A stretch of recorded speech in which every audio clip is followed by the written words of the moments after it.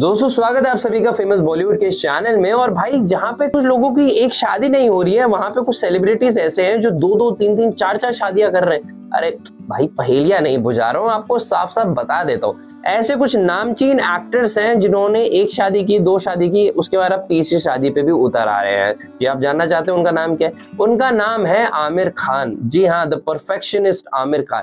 अब मूवी जैसे उनकी लाल सिंह चड्डा आई थी, वो बहुत बुरी तरह से पिट गई थी। उसके बाद उन्होंने ऐसा संन्यास लिया कि मूवीज़ करना छोड़ दिया था। उसके बाद धीरे धीरे अपडेट आने लग गए थे कि बींग प्रोड्यूसर वो आ रहे हैं। उसके बाद उन्होंने ये भी बोला था कि तारे जमी पे जो मूवी थी, उसका सीक्वल लाने वाले हैं सितारे जमी पर। तो ये थोड़े बहुत अपडेट्स थे। मगर ये जो अपडेट है उनकी शादी को लेके भाई ये अपडेट क्या है? देखा जाए तो आमिर खान ने दो शादी कर चुके थे। एक 16 साल पुरानी शादी जिसे अब रिसेंटली उन्होंने तोड़ दिया था। अब इनका जो चक्कर चल रहा था वो दंगल आपने मूवी देखी होगी ना? हाँ तो फातिमा शना शेख, इनका नाम आप याद कर लीजिए। क्योंकि बहुत सारे ऐसे रूमर थे कि दंगल में शूटिंग के दौरान भाई इन दोनों के बीच में कुछ चल रहा था। एक बाप का उम्र का, एक बेटी की उम्र की, इन दोनों के बीच में कुछ ना कुछ खट्टा मीठा तो चल रहा था और जो कि बॉलीवुड में एकदम आम बात है। भाई एज का कोई लेना देना नहीं है। बॉलीवुड में उन्हें से पसंद आना चाहिए। अब चाहे वो अर्जुन कपूर या मलाइका अरोड़ा हो या फिर भाई करीना कपूर और सैफ अली खान जैसे रिश्ते हों तो भाई उन्हें एज से कोई मतलब नहीं है। उन्हें सिर्फ़ प्यार होना चाहिए। तो ऐसी रूमर थी कि आमिर खान साहब को फातिमा से प्यार हो गया है। दंगल की शूटिंग में कहीं ना कहीं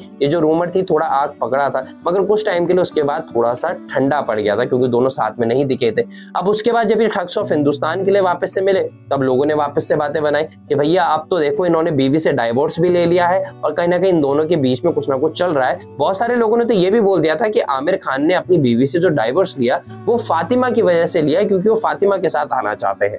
अब उसके बाद भी थोड़ा सा मामला ठंडा पड़ गया था। मगर उसके बाद एक वीडियो वायरल हो गया था सोशल मीडिया पे, जहाँ पे फातिमा और आमिर साथ में पिकल बॉल खेल रहे थे। अब मीडिया वालों को मिल गया भाई टॉपिक आग मचाने के लिए तो वहाँ पे उन्होंने बोल दिया, क्या इनके डेटिंग रूमर्स वापस से चालू हो गए? क्या ये वापस से एक दूसरे को डेट करते हैं? क्योंकि भाई, एक मूवी के बाद दूसरी मूवी करी और दूसरी मूवी तो बहुत गंदी फ्लॉप भी हो गई थी। उसके बाद ये दोनों साथ में क्यों है? क्योंकि नई मूवी का अनाउंसमेंट हो नहीं रहा है। आमिर खान ने तो संन्यास ले लिया है, जहाँ पे फातिमा दूसरी मूवीज़ में बिज़ी है। तो इन दोनों साथ में पिकल बॉल क्यों खेल रहे हैं? तो वहाँ पे डेटिंग रूमर्स और ज़्यादा बढ़ गए। भाई आपको पता है बॉलीवुड एक ऐसी इंडस्ट्री है जहाँ पे कुछ भी मिल जाए बस बोलने के लिए वहाँ पे टिप्पणियाँ कसते रहते हैं कसते रहते हैं कसते रहते।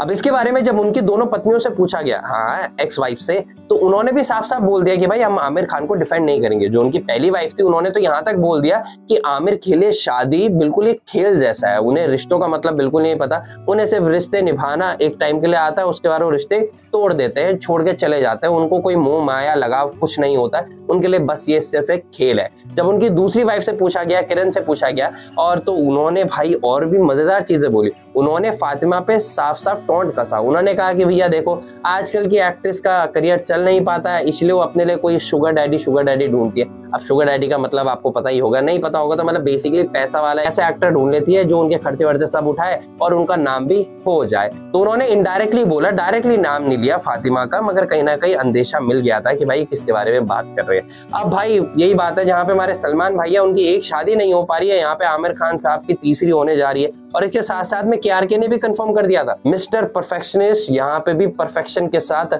सुनहरे अक्षरों में लिखे जाएँगे। के ने भी एक वीडियो बनाई थी, उन्होंने ट्विटर पे ट्वीट भी करा था कि आमिर खान तीसरी शादी करने वाले हैं, जल्द से जल्द और आपको खबर मिलने वाली है। फातिमा का जो रिलेशन है, वो भी उन्होंने कंफर्म कर दिया था। अब वैसे के आर के की बातों पे ज़्यादा दम तो होता नहीं है, ज़्यादा वज़न तो होता नहीं है। उनको ऐसे हम हवा में उड़ा देते हैं, मगर है तो रूमर ही तो उसको भी सच मान लेते हैं। तो भाई, ये रही बात। अब देखने को ये मिलता है कि भाई, सच में आमिर खान और फातिमा के बीच में कुछ चल रहा है या नहीं चल रहा है, ये तो सिर्फ़ एक तरीके से न्यूज़ थी, एक तरह से रूमर था तो मैं आपके पास ले आया। अब आप लोग फैसला कीजिए, आपको क्या लगता है? जो भी लगता होगा कमेंट बॉक्स में लिख के बता देना। और वीडियो भाई, इतनी थी। अगर ऐसा टॉपिक पसंद आता है, ऐसा कंटेंट आता है तो वीडियो को लाइक कर देना, चैनल को सब्सक्राइब कर देना और मिल जाना अगले वीडियो में। Bye bye tata.